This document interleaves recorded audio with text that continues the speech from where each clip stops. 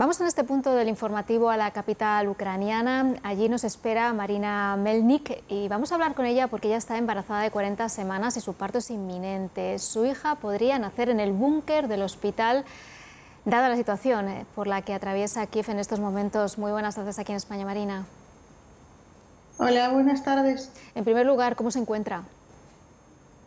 Pues más o menos bien, lo mejor lo que podemos sacar en esa situación. ¿Qué le han dicho los médicos? ¿De qué dependería que tuviese que dar a luz en el búnker del hospital? Pues depende de las alertas eh, antiaéreas. Me han comentado que si, pues normalmente empezamos en una sala normal, eh, si suena la, la, alerta, si hay sirenas, pues y yo tengo eh, la posibilidad física de bajarme al búnker, ahí tienen unas salas más o menos preparadas para esos objetivos. Pues si no tengo, pues si no puedo ya físicamente bajarme, necesitaré ir por lo menos a la planta cero, donde también van a tener las habitaciones preparadas. ¿El búnker está en condiciones para dar a luz en caso de que hubiese una emergencia? Pues en, el hospital sí, ahí tienen todo más o menos equipado. Eh, me han comentado que habían pocos casos cuando las mujeres tendrían que dar a luz en el búnker normalmente. En Kiev de momento los niños aparecen en las salas normales. No me quiero ni imaginar la situación, eh, pero ustedes escuchan desde donde se encuentran los bombardeos. Eh, ¿Qué hacen? ¿Qué se les pasa en ese momento por la cabeza? ¿Cómo evitan el estrés, eh, en esta, sobre todo usted, en esta recta final del embarazo? pues sí, de vez en cuando escuchamos los golpes o escuchamos las bombas. En su mayoría lo que escuchamos es el trabajo de nuestro sistema de defensa de, antiaérea. Sí, eh, si no hay sirenas y escuchamos eh, algún, algún, alguna explosión, por ejemplo, eh, se supone que no hay riesgo para los civiles, pero si suenan las sirenas ya nos bajamos siempre al búnker que está en el mismo edificio donde vivo yo y ahí pues ahí abajo no se escucha nada. Imagino que si a usted, eh, si miramos atrás, eh, llevamos 22 días de guerra, vamos a poner que hablemos pues, de hace dos meses de que esta situación iba a pasar, ni se lo imaginaba, ni se le pasaba por la cabeza.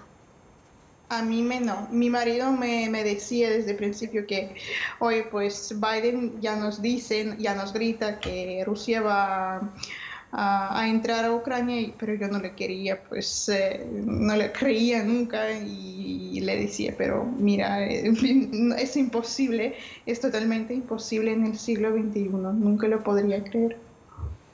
¿Tiene familiares cerca de usted en estos momentos? ¿Pueden estar allí? Sí, pues mi madre y mi hermana están aquí. ¿Cómo lo están viviendo? Pues eh, estamos todos eh, cerca, eh, sin pánico. Se quedó muy pocos, eh, muy poca gente en nuestro edificio, en, nuestros, en nuestro barrio. pues estamos viviendo como una familia, una familia muy grande y esperamos que la paz venga más pronto. ¿Cómo ve las negociaciones entre Rusia y Ucrania? Disculpa, no escuché.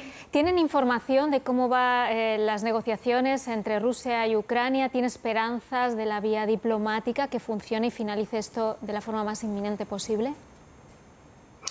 Eh, pues eh, nosotros tenemos la misma información que tienen ustedes. Como tal, nosotros entendemos que cualquier negociación de ese nivel eh, es muy secreta. Sí, nosotros entendemos qué solicitudes tiene la parte del enemigo y entendemos que nunca vamos a cumplir. Sí, nunca vamos a dejar eh, nuestras armas, nunca vamos a dejar de ser libres, nunca vamos a reconocer que Crimea o las partes orientales de Ucrania van a pertenecer a Rusia, pues eso es totalmente imposible. Nunca vamos a vivir bajo Rusia. Y hemos eh, sabido que su hija, ustedes han elegido que se llame Olga. Cuando dé a luz, ¿tiene previsto salir del país con ella?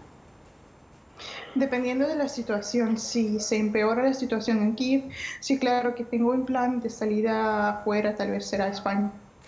Es España, eh, nos sorprende, estábamos comentando todo el equipo que habla perfectamente español. Eh, ¿Dónde lo ha aprendido?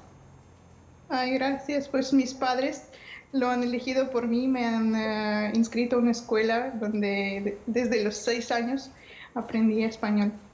Supongo que se lo trasladará a Olga, que hablará español seguramente también. Seguramente. Pues muchísimas gracias Marina, desde aquí todo el equipo del canal 24 horas de televisión española le desea lo mejor, eh, que tanto usted como Olga, pues eh, bueno, pues que Olga venga al mundo lo mejor posible y que pronto esta situación pase y que pueda disfrutar de su pequeña. Muchas gracias.